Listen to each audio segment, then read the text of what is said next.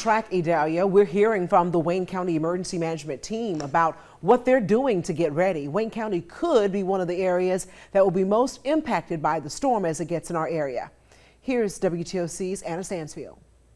The director here with Wayne County Emergency Management says making sure you're prepared before the storm hits is one of the best ways to ensure your safety. That's why Donnie Ray, the county's EMA director, says they started preparing today. Make sure all our generators are ready, our storm drains are cleared, any debris off the roadway, and um, firing up the old generators, and uh, just make sure we got all our vehicles gassed up, ready to go. He says residents in Wayne County need to start getting ready for the storm as well. Well, this storm here, you know, as always, make sure you have enough water in your house and, and of course, like I'd like snacks in your house. He says it's good to check the outside of your home as well.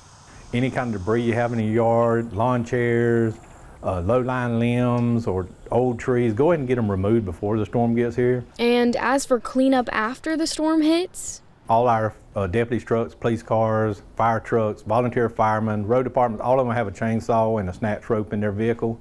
So just as soon as the danger goes by the storm, we'll actually start going out and clearing the roads right away. And if you have debris in your yard, Ray says you need to be cautious.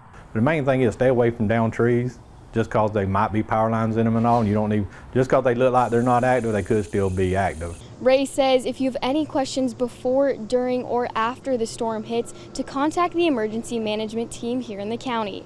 Reporting in Wayne County, Anna Stansfield, WTOC News.